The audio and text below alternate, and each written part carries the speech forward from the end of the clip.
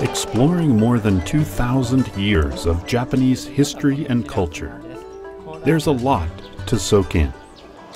Among the discoveries, modern and ancient, what will be your treasures? Part of the Japanese uh, sense of aesthetics comes through in, in even in the streets. Today, like many of the other days that we spent in Japan, there's a big variety of activities that are going to be happening. So what, I, what I'm looking forward to is the variety.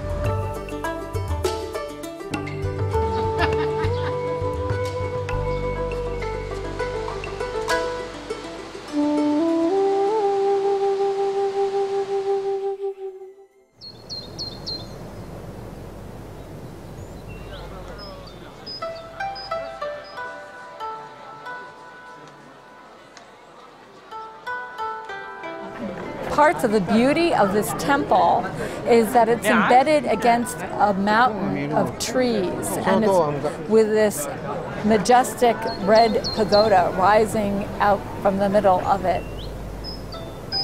Kiyomizu-dera is a Buddhist temple and a UNESCO World Heritage Site. The name comes from the waterfall within the complex.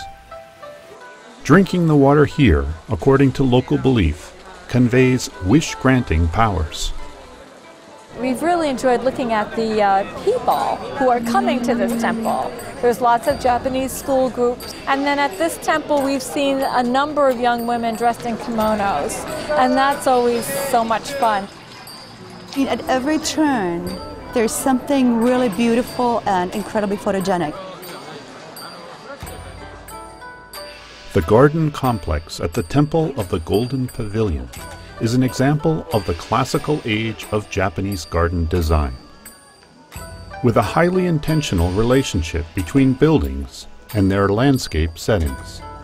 We learned that Kyoto was one of the few large cities in Japan really untouched by bombing in World War II. It has a nice, really a beautiful combination of new buildings and ancient buildings. And I love the contrast between the new and the old. So we're enjoying Kyoto.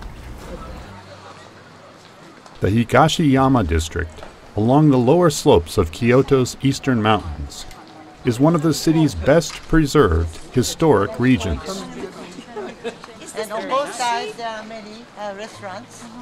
Oh, she's wonderful. She knows so much about Japan and uh, the culture and the history, and she's so tolerant of questions and questions and questions. Same, same thing inside. Whenever we ask her any kind of question, she'll do her best to answer, and if she's not sure, she'll find out and get right back to us. So she's been very, very gracious.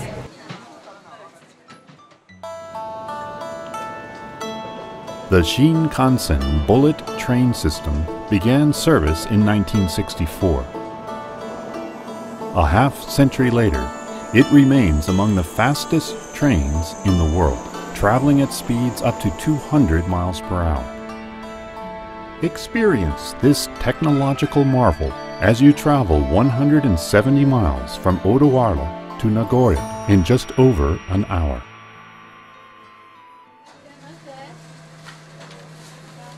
This place is called Hekitei. This is really an old house of the samurais. People brought in the uh, komatsuna that they harvested in the farm.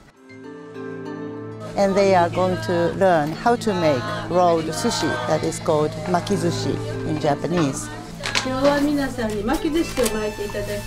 So today you are going to learn how to make makizushi. で巻き寿司巻くのにすごく上手な From now, we are enjoying making sushi roll. But uh, before that, I'll show you how to make sushi roll. This bamboo mat, this is present for you from owner Michio-san. Hi. You can bring back your home. Sushi means sour tasting, a reflection of its distinctive culinary heritage. Fish was fermented in rice and then eaten only after the rice was discarded. Pour the nori sheet over. Finish. That's all. Very easy. So Very easy. Your turn. Please start. Easy for you, difficult for me. Now, now we're going to roll it? The opportunities that we have to do the daily life, such as cooking, gives us a chance to uh, take a break from all the intellectual learning and actually have hands on and a lot of fun, laughing at ourselves, trying to do something that we can't really do very well. This is Yeah. the wife's nice and tight. The husband's falling apart, loose, not. Oh, no need to point that out. It speaks for itself. These are the cooked vegetables in the plate. And this uh, brown one is uh, fried tofu. This 300 year old house was that of a famous samurai in the region.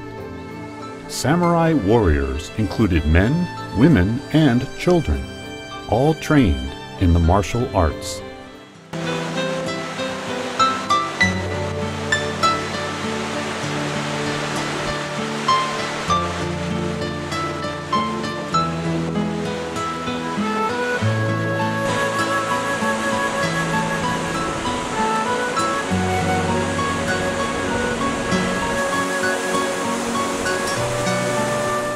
Been so many great little experiences mm. that you can't pick your favorite one.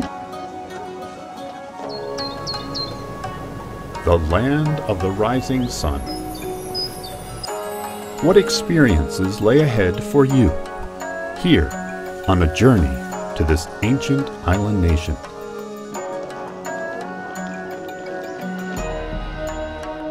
We set off to see temples and shrines, and we ended up by having such a wonderful time just interacting with the people. Japan is a, a beautiful country filled with very, very polite people. We knew we would enjoy this trip. The house in front, this is used as a kind of uh, a museum. And on the, on the right side, this is still used by a family. Yeah. I uh, was grown up in the uh, Chiba prefecture uh, near Tokyo. That was uh, the little uh, fisher town. I'm very uh, interested in history and traveling, so I work as a tour leader. At the same time, uh, I study myself old and the uh, middle and modern uh, history of Japan. Of course, uh, we'll visit the famous and beautiful sites or the uh, temples, but also uh, I try to include the other things uh, which can be uh, very memorable to the travelers. Japan has uh, the very long history and of course the uh, very beautiful nature and I find that the travelers are very much impressed with the beauties of the Japanese gardens or the uh, uh, buildings or the statues of the uh, Buddha. Kenroku-en, of course, is uh, one of the most beautiful gardens in Japan. The cherry blossoms uh, they bloom for only a short while, uh, at most uh, two weeks, and it's gone. This uh, fits to the Japanese people's sentiment